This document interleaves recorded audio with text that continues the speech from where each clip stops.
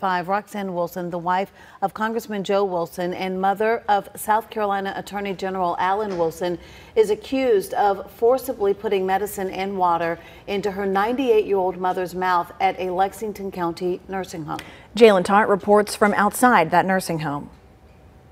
WIS obtained an incident report coming from the Lexington County Sheriff's Office, and it states that Roxanne Wilson came here to the Presbyterian communities of South Carolina, where she forcibly forced down medicine and water down her 98 year old mother's throat.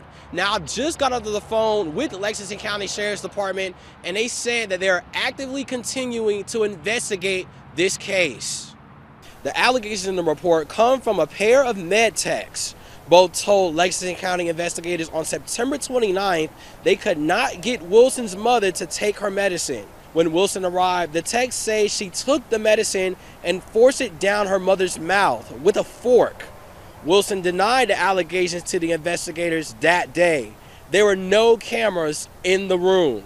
The report indicates that the Presbyterian communities wanted Roxanne Wilson to be pressed on trespass notice.